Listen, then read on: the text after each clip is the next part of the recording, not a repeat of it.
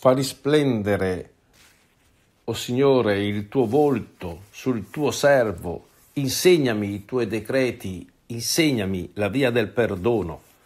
Dal Vangelo di Matteo, il capitolo 18. Quel tempo Pietro si avvicinò a Gesù e gli disse, Signore, se il mio fratello commette colpe contro di me, quante volte dovrò perdonargli? Fino a sette volte? E Gesù gli rispose, non ti dico fino a sette volte, ma fino a settanta volte sette. Per questo il regno dei cieli è simile a un re che vuole regolare i conti con i suoi servi. Aveva cominciato a regolare i conti quando gli fu presentato un tale che gli doveva diecimila talenti. Poiché costui non era in grado di restituire, il padrone ordinò che fosse venduto lui con la moglie, i figli e quanto possedeva, e così saldassi il debito. Allora il servo, prostrato a terra, lo supplicava dicendo, Abbi pazienza con me, ti restituirò ogni cosa. Il padrone ebbe compassione di quel servo, lo lasciò andare e gli condonò il debito. Appena uscito quel servo trovò uno dei suoi com- compagni che gli doveva cento denari. Lo prese per il collo e lo soffocava dicendo restituisci quello che devi. Il suo compagno prostrato a terra lo pregava dicendo abbi pazienza con me, ti restituirò. Ma egli non volle, andò e lo fece gettare in prigione fino a che non avesse pagato il debito. Visto quello che accadeva, i suoi compagni furono molto dispiaciuti e andarono a riferire al loro padrone tutto l'accaduto. Allora il padrone fece chiamare quell'uomo e gli disse Servo malvagio, io ti ho condonato tutto quel debito perché tu mi hai pregato. Non dovevi anche tu aver pietà del tuo compagno così come io ho avuto pietà di te? Sdegnato il padrone lo diede in mano agli aguzzini finché non avesse restituito tutto il dovuto. Così anche il Padre mio celeste farà con voi se non perdonerete di cuore, ciascuno al proprio fratello.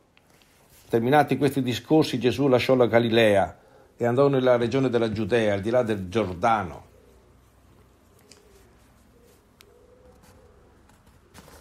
La domanda di Pietro quante volte dovrò perdonare è una domanda a cui Pietro già doveva conoscere la risposta. Nel Padre nostro Gesù aveva già insegnato che la frase, la richiesta rimetti a noi i nostri debiti aveva però come continuazione come noi le rimettiamo i nostri debitori e Gesù aveva detto, se voi infatti perdonerete agli altri le loro colpe, il Padre vostro che è nei cieli perdonerà anche a voi, ma se voi non perdonerete agli uomini, neppure il Padre vostro perdonerà le vostre colpe. Gesù risponde al numero 7, Pietro aveva immaginato sette volte perdono, come possibilità di perdono, Gesù risponde se, moltiplicando 70 volte 7, cioè indicando la pienezza, deve perdonare sempre e spiega questa regola del perdono con una parabola, quella del re che condona un dono, un debito immenso, un dono che quel servo non poteva assolutamente restituire, era destinato al carcere. Certo, nella preghiera lui dice abbi Pazienza, ti restituirò, ma sa benissimo che non potrà mai restituire quel debito. il padrone impietosito a pazienza, non soltanto a pazienza, gli condonò il debito. Noi sappiamo che la legge stabilisce che il debito sia restituito.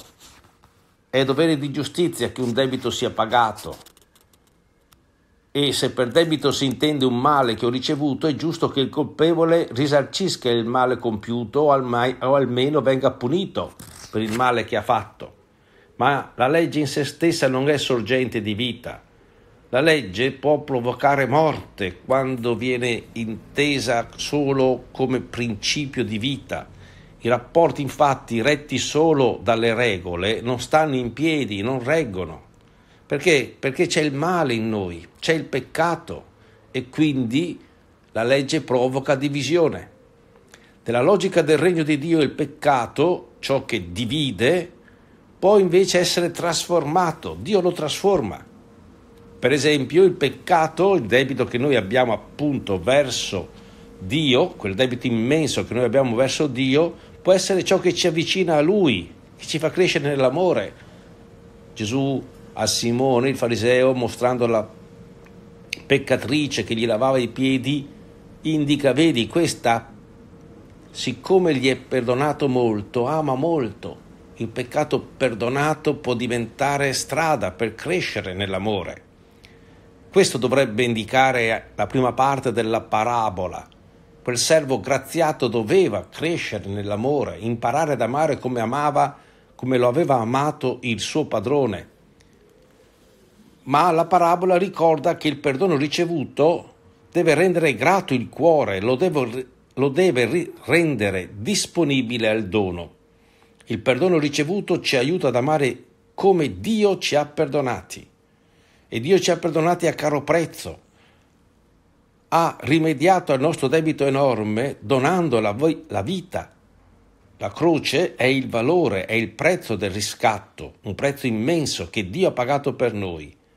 Se perdonate da Dio, siamo chiamati a perdonare, così amiamo come ama Dio.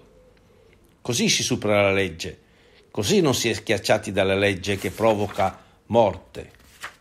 Come il perdono ci fa crescere nell'amore verso Dio, così il perdono tra di noi ci fa crescere come fratelli, come comunità.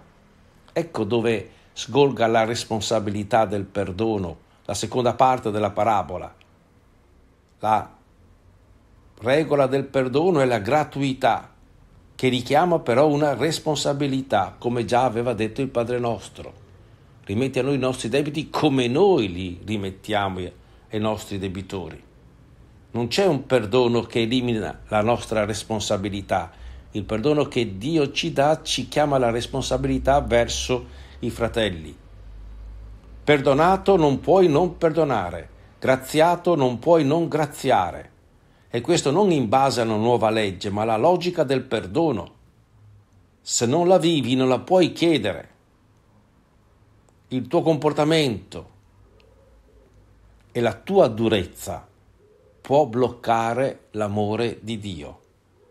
Quindi ciò che ci allontana da Dio, che è il nostro debito, può essere perdonato, può essere la via attraverso la quale noi sperimentiamo il perdono di Dio, ma è il credito, cioè quello che gli altri ci devono, che può diventare occasione di scandalo perché non riusciamo a perdonare.